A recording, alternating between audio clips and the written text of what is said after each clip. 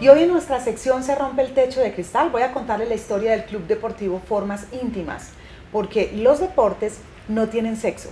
Así es que mi invitada es Liliana Zapata y con ella conversaremos sobre el fútbol femenino. Lilo, bienvenida, qué rico tenerte acá y saber que existen mujeres que se dan a la tarea de abrirle el campo, de abrirle espacio a otras mujeres que están queriendo romper esquemas, como en el caso del fútbol femenino. Bienvenida. Ay, Paola, no, muchas gracias. Para nosotros es un sueño cumplido estar desde otra perspectiva, eh, negocios en tu mundo, que la gente no nos califique solamente jugadoras de fútbol en una cancha, sino que muy chévere y muy bacana tu invitación para que hablemos desde otro aspecto, el fútbol femenino como tal. Y es que hace 16 años comienza a gestarse este sueño, a tener personería jurídica, a tener posibilidades de estar cada vez más organizados. Y esto se ha podido gracias a compañías como Formas Íntimas, que en definitiva les dijeron sí al fútbol femenino y los acompañan en todo ese espacio como parte de su responsabilidad social empresarial.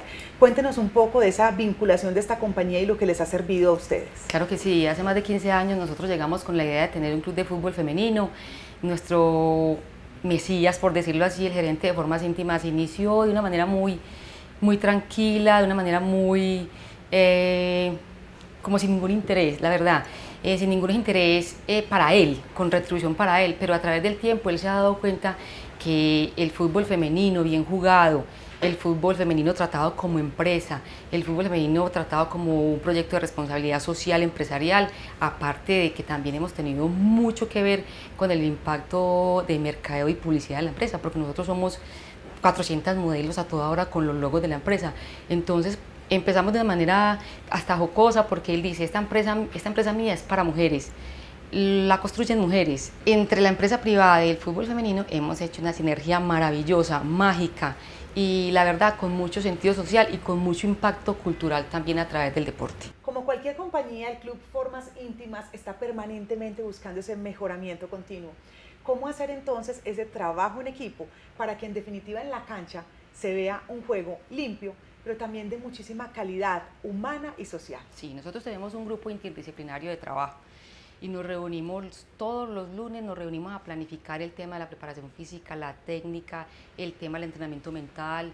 Nosotros planificamos cuántos implementos tenemos, cuántos implementos nos hacen falta, dónde vamos a jugar, eh, revisamos las lesiones de cada jugador, o sea, hacemos un seguimiento guardando las proporciones como lo hace un equipo profesional. Nosotros queremos manejar el Club Deportivo Formas Íntimas como una empresa de verdad. Lilo, y en definitiva todo ese entrenamiento, incluso mental, de estar potenciando a las jugadoras, porque hay quienes todavía opinan que el fútbol es solo para hombres. ¿Cómo romper esos esquemas?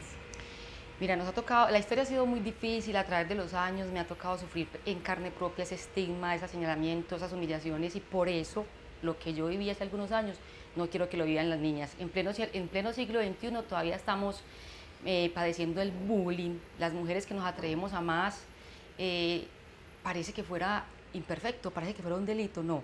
Nosotros hemos logrado romper el techo de cristal a través de las ganas y a través de la eh, insistencia y la terquedad de nosotras, fortaleciendo a las niñas, diciéndole que ellas pueden hacer lo que quieran, haciéndolo bien hecho. Eso es un llamado de atención a las familias porque tener una mujer deportista es una bendición. Finalmente, Lilo, hay una muy buena noticia y es que de tanto ir el agua al cántaro lo rompe. Si ustedes lograron que en definitiva la Di Mayor comience a pensar en ese fútbol femenino ya de una manera diferente, ¿qué fue lo que lograron? Uy, no, logramos que al fin se oficializara el fútbol femenino profesional en Colombia. Ojalá los deportes todos se profesionalizaran, particularmente nos corresponde el fútbol, pero algo que teníamos como una debilidad, que era fútbol y mujeres, lo convertimos en una gran fortaleza.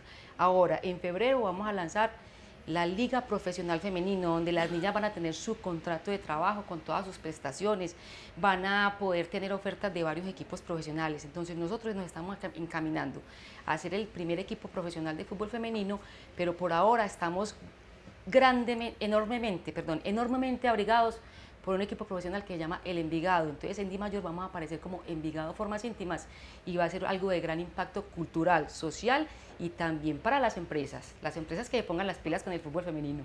Qué bueno de verdad, Lilo, haberte tenido aquí en Negocios en tu Mundo, sobre todo rompiendo ese techo de cristal, cambiando esquemas, cambiando paradigmas y, ¿por qué no?, abriendo esta posibilidad del fútbol femenino, que también es un tema de compañía, de marca para quienes lo apoyan y un tema de responsabilidad social. Muchas gracias. No, gracias a ti, Paola, y te comprometo en el, al aire de que tenés que estar en el lanzamiento de Envigado Formas Íntimas porque vas a impactar con tu historia a muchas mujeres que vamos a estar ahí. Así va a ser.